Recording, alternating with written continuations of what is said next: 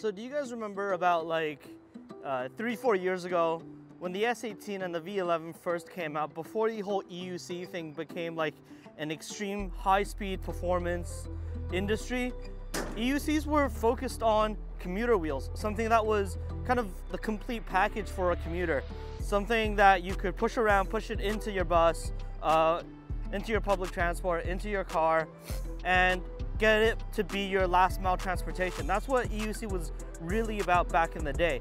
And the V11Y is a refocus of that. The V11, released back in 2020 as InMotion's first suspension wheel, has now become one of the best selling wheels for the company. Four years on, they have now refreshed this model. The InMotion V11Y features 7800 lux headlight, the same one found on the V11 without the noisy fan, the Raptor Y controller, now peaking at 2800 more watts for a happy 60 km an hour in top speed, with a better waterproof rating of IPX6. It also now comes stock with spiked pedals over the grip pedals found on the V11, all sitting on an 18 inch tire at an 84 volt 1500 watt hours.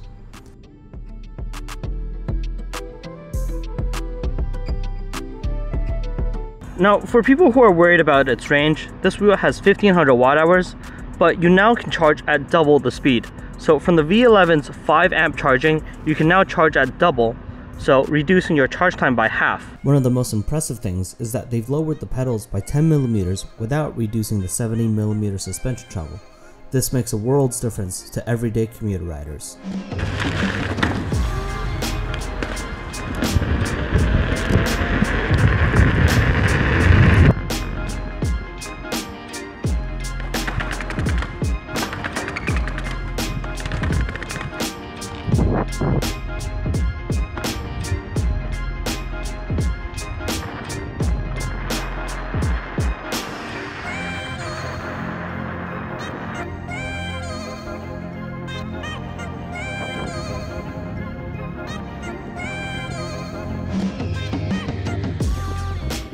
86% battery, we're gonna go ahead and test the theory and see if we can reach 60. So let's go. We're slowly gonna cruise up to the speed.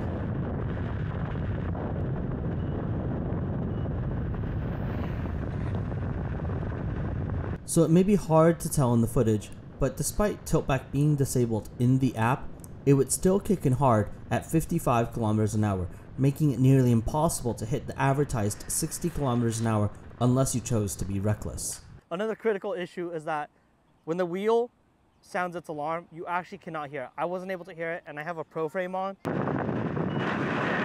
but really could not hear it. Only heard it through the iPhone and through my Insta360 camera. So if you're gonna go that speed, please be careful. My idea. With stock street tires, we both attempted hill climbs to feel the claimed power increase. Both of us did feel a slight increase, but as an everyday rider, we don't think it would Yeah. make much of a difference, Even but rather Lewis enjoy the completely sealed off controller against the Oh, elements. look at that technique.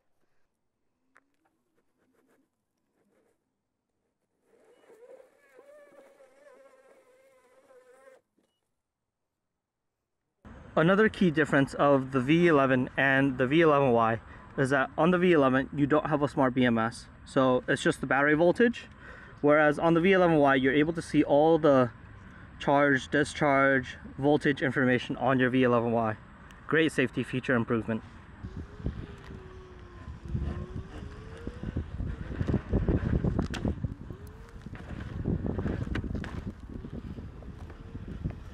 So let's talk about this wheel's suspension. Just because it has suspension doesn't mean that it's an off-road wheel. First off, you have this PSI chart right here based on the rider's weight. You can pump it to the PSI suggested here. I do actually suggest going a little bit lower. If you go on a bit higher, then you might get that pogo stick effect. It might rebound really quick on you. And if you're going down steps, it can, uh, you might lose control of the wheel. So be really careful about that. A secondary thing is if you do have it on the lower end, obviously when you go down some uh, sidewalk or go down a lot of steps, be careful, take it easy because you may bottom out and you don't want to bottom out your suspension too many times because that can damage your suspension. Another thing is this wheel is really just a commuter wheel, right? So if you're thinking about off-roading, this may not be the wheel for you, but everyday use, the suspension is going to be really good. doing this kind of stuff behind me, maybe not such a good idea. And if you're going to be doing that like extreme stuff where you're wanting to hit 45 kilometers an hour and above, then I do suggest finding a way to put on pads. Now, there are no jump pads available, but there are these 3D printed ones that you can find on Thingiverse or on Etsy where they're kind of your jump clips. But because of the surface of this top pad, the adhesive doesn't stick to it well. So if I rip off this pad provided to me by One Ride, well, the adhesive is actually gonna tear off. So thanks to Ride One for providing this uh, power pad and it definitely matches with this wheel for its commuting purpose and it's really comfortable. But unfortunately it doesn't stick well enough to the V11 and that's more of a InMotion thing than the pad.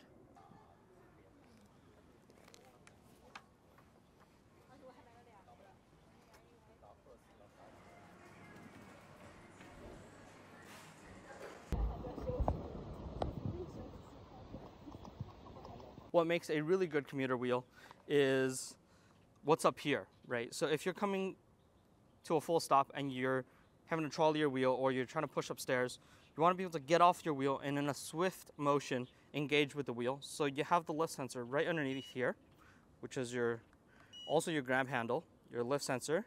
And if you just move your finger forward a little bit more, you'll find the switch for the trolley handle. So you can actually trolley it forward and back. So in one smooth motion, you're able to engage with everything you need to with the V11Y in a commuter basis. And if you're thinking about using this wheel as a commuter basis, or as a commuter wheel, then you might consider also this. So Bob over at PidZoom, who makes EUC or electric rideable accessories, has sent over this wireless horn.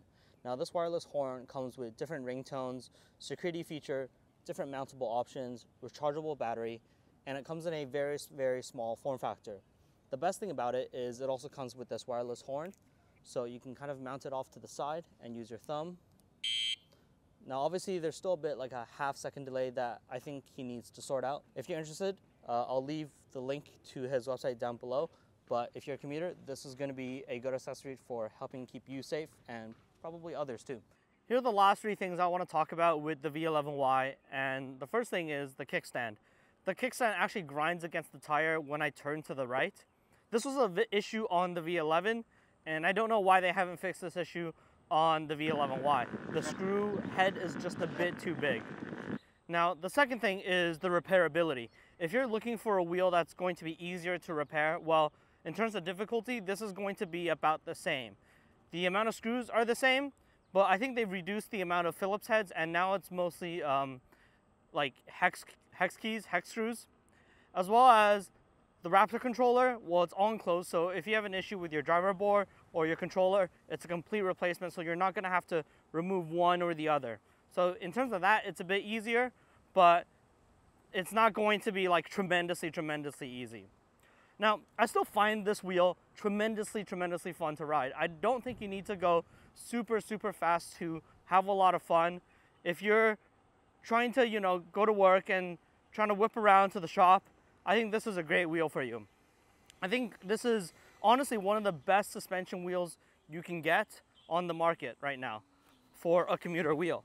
There are other commuter wheels, but they are heavier or they're more power than you need. This is still a really, really fun wheel. If you're not thinking about going that fast, if you want a commuter wheel, if you want a great all-in-one package commuter wheel, you're not going to look, you're not going to find anything better than the V11 That's my honest opinion. There are smaller wheels if you want it to be lighter, but they don't have suspension. So InMotion have sent out this wheel, and thanks to them for sending out this wheel. But again, they, I am uninfluenced by um, what they've told me to say or anything. I'm presenting some of the facts and my own experience on this wheel. If you like this video, please be sure to hit the subscribe button and push the like.